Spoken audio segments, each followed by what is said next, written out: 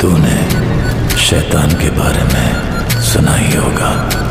वो शैतान मैं ही हूँ, जिसे लोग प्यार से बोलते हैं।